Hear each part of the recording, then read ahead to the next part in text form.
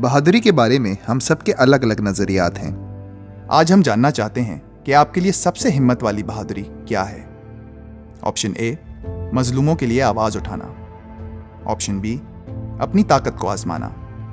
Option C, रुकावटों का सामना करना। या ऑप्शन डी, अपने खौफ से निजात पाना।